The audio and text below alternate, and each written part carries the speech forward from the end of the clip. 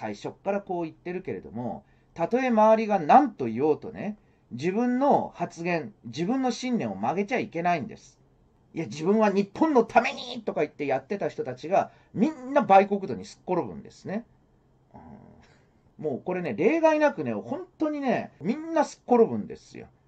うん、あれだけ散々ね、日本が、日本がと叫んでいた一二の参政党ってあったでしょ？一二の参政党がどこ行っちゃった？というですね、もうこの統一教会の問題が出てきて以降ですね、一二の参政党が引っ込んじゃったんですね。もう僕は絶対に表に出ませんにだってやってるわけですよ。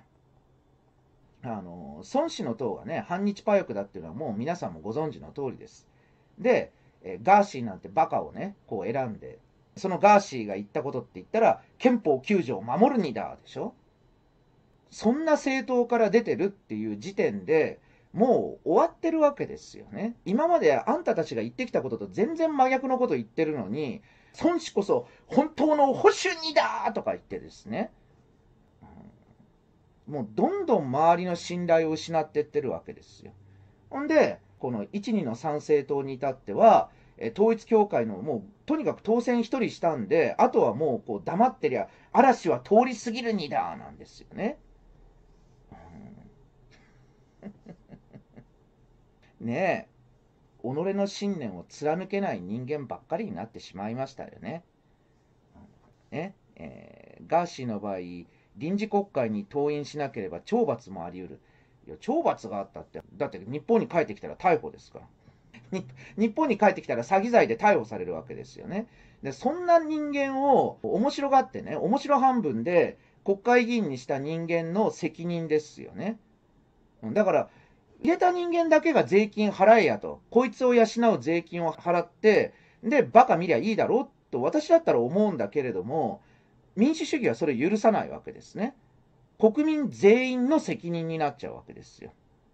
えー、もう日本は終わってると私は思うんですね。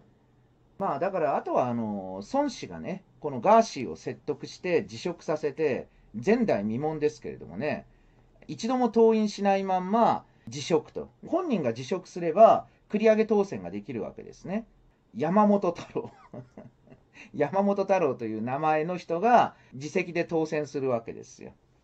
あの、逃げ太郎さんじゃないですよ。逃げ太郎さんじゃない方の山本太郎が繰り上げ当選になるわけですけどもね。ただ、このまんまですね、孫子の説得に応じなければ、多分これ、参議院の方から除名処分食らうだろう、最終的には除名処分になるだろうと私は思うんですけどもね。で、除名処分になると、